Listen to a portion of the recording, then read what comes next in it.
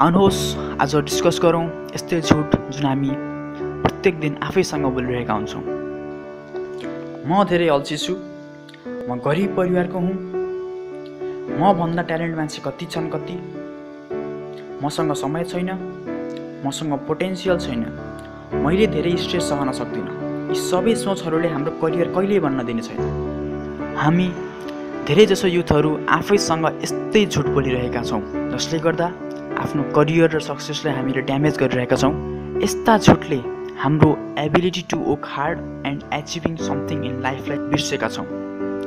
आइल start tomorrow म भोलिदेखि सुरु गर्छु। यो कुरा सधैँ सम्झौँ कि हाम्रो बाँकी बचेको जिन्दगीको पहिलो दिन आज हो। यदि हामी साँच्चीकै केही गर्न चाहन्छौँ भने don't waste a day a minute or a second create a to do list and start right now हाम्रो अर्को झुट छ मसँग टाइम छैन। यो सबैभन्दा कमन झुट। मान्नुहोस् या नमान्नुहोस् तपाईँ हामीले सोचेको भन्दा धेरै टाइम हामीसँग हुन्छ। It's all about priority so spend less time on social media आफूलाई अनप्रोडक्टिभ कनेक्सन अथवा नराम्रो सङ्गतबाट टाढा राखौँ। यस्तै गरी कताबाट सुरु गर्ने? हामी भगवान् होइनौँ। हामीलाई थाहा हुँदैन कताबाट सुरु गर्ने। तपाईँलाई जहाँबाट मन लाग्छ त्यहाँबाट सुरु गर्नुहोस्। मेक एन इन्भेस्टमेन्ट किताब पढ्नुहोस् अरूलाई सहयोग गर्नुहोस्। यसरी नै हो सुरु गर्ने। सुरु गर्न सबैभन्दा च्यालेन्जिङ पार्ट हो।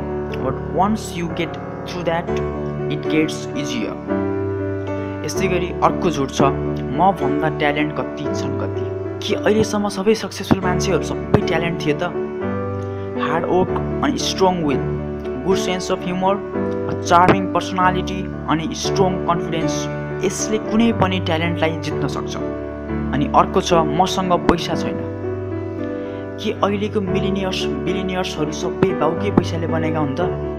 तपाईँ पैसालाई आफ्नो फेलियरको रिजन कहिल्यै नबनाउनुहोस्। आफ्नो ड्रिममा पैसा खनाएर मात्रै कोही सक्सेस हुँदैन।